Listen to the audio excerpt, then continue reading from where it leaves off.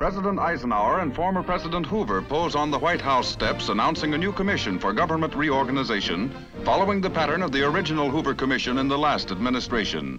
Greater efficiency is the goal, with an expert on government function as the guide.